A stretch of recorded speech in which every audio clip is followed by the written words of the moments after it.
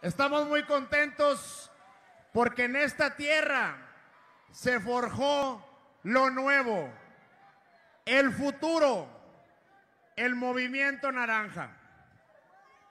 Aquí en Tlajomulco, cuando empezamos la gira por Occidente, no dudé ni un segundo en empezar a botas, a caballo, en una cabalgata en Tlajomulco con mi compa Quirino. Porque hay que mandar una señal a la señora Claudia y Xochitl. Desde Tlajomulco hay que recordarles un estilo y un dicho de rancho.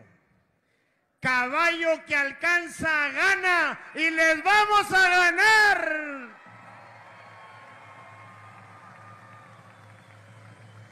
Y lo más importante, lo más importante para Jalisco y para Nuevo León, hoy somos los motores económicos de México.